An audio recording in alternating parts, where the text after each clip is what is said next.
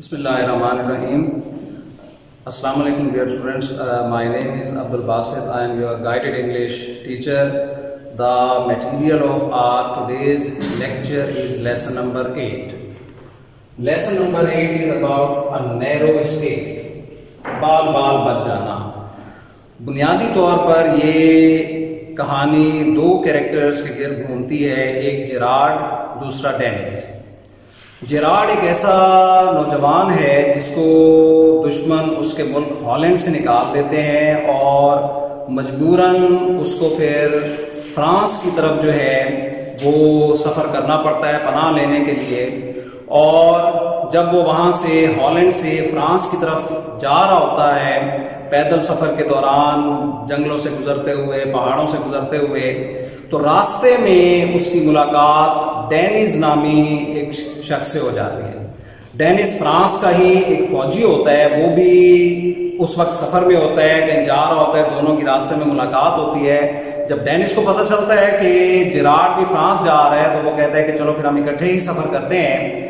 اب سفر کے دوران جب وہ جنگل سے گزر رہے ہوتے ہیں اسی جنگل میں ایک جگہ تھوڑی دیر آرام کرنے کے لیے بیٹھتے ہیں تو اسی دوران میں ان کو جھاڑیوں میں سے کسی جانور کی آواز سنائی دیتی ہے۔ اب وہ جیسے ہی دیکھتے ہیں تو ان کو محسوس ہوتا ہے کہ کوئی ریچھ ہے جو ہم پر حملہ کرنے والا ہے۔ لہٰذا ڈینس کے پاس تیر کمان ہوتا ہے کہ ان کو ایک فوجی ہوتا ہے۔ لہٰذا یہ سارا حفاظتی سامان وہ اپنے ساتھ لے کے چلتا ہے۔ لہٰذا وہ اس تیر کے ذریعے اس پر حملہ کر دیتا ہے اور اس کو مار ڈالتا ہے۔ اب بعد میں پتا چلتا ہے کہ وہ بڑا ریچ نہیں تھا، بلکہ ریچ کا ایک بچہ تھا۔ اب جراٹ کو بڑا افسوس ہوتا ہے کہ ہم نے ایک ننے سے ریچ کے بچے کو مار ڈالا ہے اکیلے۔ تو ڈینیز کو بھی افسوس تو ہوتا ہے، لیکن وہ کہتا ہے، اب بائی مسٹیک ہو گیا، اب ہمیں پتا تو نہیں تھا کہ یہ ریچ کا بچہ ہے اور ہمارے لیے بے ضرر ہے۔ تو بائی مسٹیک اب ہم نے اس کو مار دیا ہے، تو اس کے بعد وہ اپنے سفر کو دوبارہ شروع کرتے ہیں۔ اب، ابھی جا ہی رہے ہوتے ہیں کہ تھوڑی دور گئے ہوتے ہیں، تو پیچھے سے اسی ریچ کی ماں جو ہے، وہ غراتی ہوئی ان کی طرف بڑھتی ہے۔ اور ان کو پتہ چل جاتا ہے کہ ظاہری بات ہے، کیونکہ ہم نے اس اس کے بچے کو مارا ہے، لہٰذا وہ انتقامی کاروائی کے طور پر اب ہم پر حملہ کر سکتی ہے۔ اور ہمیں نقصان پہنچا سکتی ہے۔ لہٰذا دونوں بھاگتے ہوئے اپنی جان بچانے کے لیے مختلف درختوں کے اوپر چڑھ جاتے ہیں۔ ایک درخت پہ جراٹ چڑھ جاتا ہے، دوسرے درخت پر ڈینس چڑھ جاتا ہے۔ بائی چانس ڈینس جس درخت پر چڑھتا ہے، تو اسی درخت پر چڑھنے کی وہ ریچھنے بھی کوشش کرتی ہے اور جس درخت پہ ڈینس چڑھتا ہے، وہ انتہائی کمزور ٹہنیوں والا درخت ہوتا ہے۔ لہٰذا جراڈ جب دیکھتا ہے کہ اس کا دوست ڈینی مشکل میں ہے اور وہ ایک ایسے درخت پہ چڑھ گیا ہے جس کی شاخ کسی بھی ٹائم ٹوٹ سکتی ہے اور وہ نیچے گر سکتا ہے اور پھر وہ اس پر رشنے جو ہے وہ حملہ کر دے گی۔ لہٰذا وہ ہمت کرتا ہے اور درخت سے نیچے اترتا ہے اور وہ جو تیر کمان ڈینس وہاں چھوڑ گیا تھا، اس کو اٹھاتا ہے اور اس تیر کمان سے جو ہے وہ اس ریشنی پر حملہ کر دیتا ہے۔ تیر اس کو لگتا ہے اور وہ زخمی ہو کر نیچے گرتی ہے۔ جو ہی زخمی ہو کر درخت سے وہ نیچے گرتی ہے، تو اب وہ پھر جراڈ کے پیچھے بھاگ پڑتی ہے۔ جراڈ اب بھاگتا ہوا واپس اسی درخت پہ چڑھنے کی کوشش کرتا ہے۔ جو ہی وہ درخت پہ چڑھ رہا ہوتا ہے، تو اس کی ٹانگ کو جو ہے نا وہ پکڑنے کی کوشش کرتی ہے اور وہ پھر اس کی ٹانگ کو زخمی کر دیتی ہے۔ بہرحال وہ بڑی مشکل سے اوپر چڑھ جاتا ہے اسی زخمی حالت میں اور پھر وہ ریچنی بھی اسی درخت کے اوپر جو ہے وہ اس کے پیچھے چڑھنے کی کوشش کر رہی ہوتی ہے۔ اب دوسری طرف جب ڈینس دیکھتا ہے کہ اب جراڈ مشکل میں ہے، لہٰذا وہ پھر درخت سے نیچے اترتا ہے، وہی تیر کمان جو وہ زمین پہ چھوڑ کے بھاگ گیا ہوتا ہے، وہی اٹھاتا ہے اور اس سے اس ریشنے کو مار دیتا ہے۔ اب وہ ریشنی وہیں پہ مر جاتی ہے، اب وہ جراڈ جو درخت پہ چڑھا ہوا ہوتا ہے۔ وہ کیونکہ زخمی حالت میں ہوتا ہے، لہٰذا شدید ٹانگ پہ اس کے زخم آ چکا ہوتا ہے اور وہ اپنا بیلنس برقرار نہیں رکھ سکتا اور نیچے دھڑام سے آ کے گرتا ہے اور لکیلی وہ جو نیچے گرتا ہے تو اسی جگہ پہ گرتا ہے جہاں وہ ریشنی پڑی ہوتی ہے، اس کے جسم پہ آ کے گرتا ہے، لہٰذا وہ مزید زیادہ چوٹوں سے یا سر کی چوٹ لگنے سے موت بھی واقع ہو جاتی ہے اس سے بچ جاتا ہے۔ لہٰذا وہ ٹینس جو ہے، پھر وہ اس کی بینڈیج کرتا ہے اور پھر وہاں سے آگے وہ اپنا باقی ماندہ سفر جو ہے، وہ شروع کر دیتے ہیں، جس میں انہوں نے فرانس میں پہنچنا ہوتا ہے۔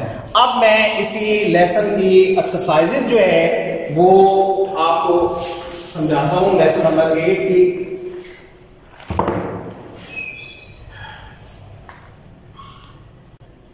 جی اب یہ لیسن نمبر ایٹ کی جو ایکسرسائز ہیں، اب ہم ان کو دیکھیں گے۔ پہلی جو ایکسرسائز ہے B exercise finish these sentences with word from the passage اسی لیسن کے اندر جس طرح سے سینٹینسز استعمال ہوئے ہیں، وہی الفاظ ہم نے استعمال کر کے اس ایکسرسائز کو فل کرنا ہے۔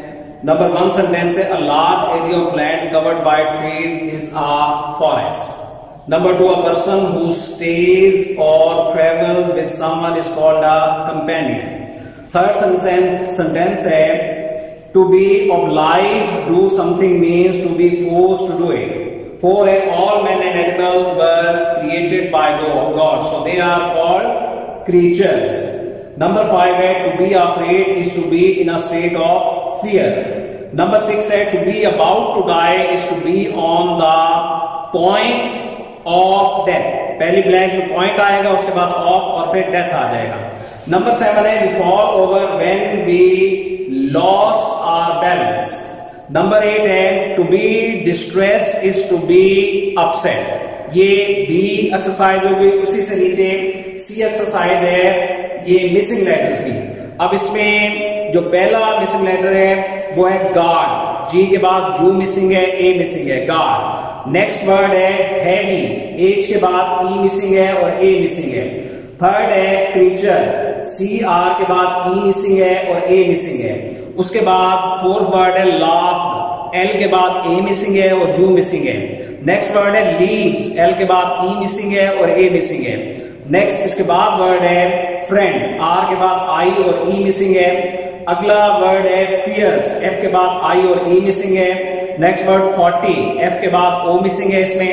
اور کمپینین پی کے بعد اس میں اے مسنگ ہے. تو اس طرح سے یہ مسنگ لیٹر کی ایکسرسائز جو ہے وہ آپ نے فل کرنی ہے. اس کے بعد پیج نمبر 45 پر جو ایکسرسائز ہے، finish these sentences using either a to infinitive or a bare infinitive اب یہ گرامر پوائنٹ آف ویو سے بہت امپورٹنٹ ایکسرسائز ہے. اس کو اچھی طرح سے سمجھیں انفینیٹو بنیادی طور پر کیا ہوتے ہیں؟ Basic form of verb is called infinitive ورب کی جو پہلی فارم ہوتی ہے، اس کو انفینیٹو کہا جاتا ہے۔ اسٹینڈرڈ تمام ڈکشنریز میں اگر آپ ورب کی فارمز لکھی ہوئی دیکھیں گے، تو ہر ورب کی فارم سے پہلے to go to run to sing to walk لکھا ہوا ہوتا ہے۔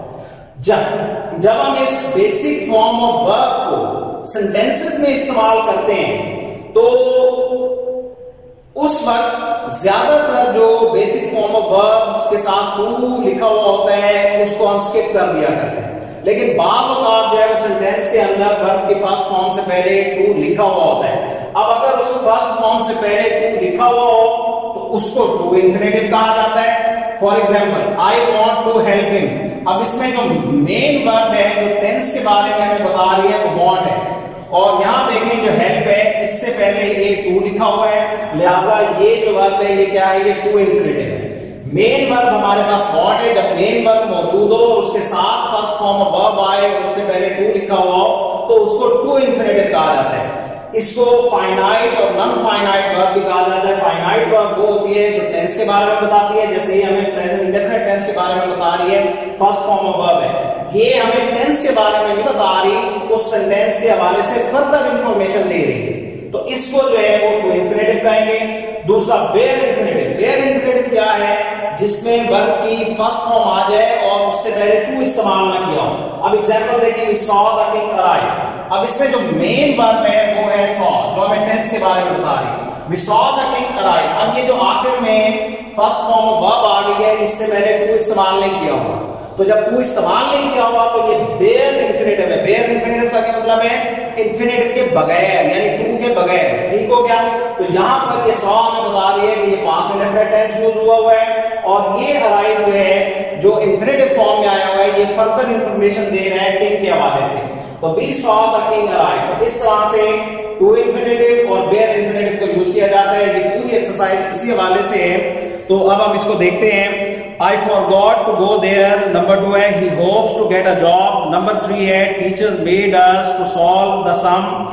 Or number four, eh, a friend offered to give me his book. Or number five, the policeman let the man go. Or next, did you remember our last meeting? Number eight, nobody heard me to speak for him. Number nine, everybody refused to see him. Number ten, I 10 I want let you miss this chance number 11 ہے my father hopes to make me doctor اور number 12 ہے you will never make me feel sad تو اس طرح سے یہ ساری کی ساری ایکسرسائز ہے.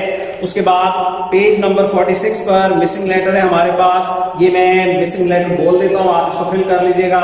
نمبر 1 ہے پیس اس میں آئی اور e ای مسنگ ہے. نیکسٹ ہے ڈسیو اس میں بھی آئی اور e ای مسنگ ہے. نیکسٹ ہے بلیف اس میں بھی آئی اور ایل کے بعد آئی اور ای مسنگ ہے گریف اس میں بھی آئی اور ای مسنگ ہے اور ویٹ اس میں ای اور آئی مسنگ ہے اس کے بعد نیبر ای اور آئی مسنگ ہے ریلیو اس میں بھی آئی اور ای مسنگ ہے سیلنگ ای اور آئی مسنگ ہے سیز ای اور آئی مسنگ ہے سیج اس میں آئی اور ای مسنگ ہے بلیو آئی اور ای مسنگ ہے رین ای اور آئی مسنگ ہے دیئر اس میں ای اور آئی مسنگ ہے وائرڈ ای اور آئی لیئر ای آئی کانسیٹ اس میں ای آئی مسنگ ہے مسٹیف اس میں آئی ای مسنگ ہے اس طرح سے یہ مسنگ لیٹر کی ایکسرسائز آپ نے فل کرنی ہے تو امید کرتا ہوں کہ یہ لیسن نمبر ایٹ کا کی مکمل صورتحال آپ کو اس کا خلاصہ سمجھ آ گیا ہوگا اور تمام ایکسرسائز بھی میں نے آپ کو کروا دی ہیں سمجھا دی ہیں تو امید ہے کہ آپ کو یہ مکمل لیسن سمجھ آ گیا ہوگا thank you very much next lesson انشاءاللہ ہم اگلے لیکچر میں ڈسکس کریں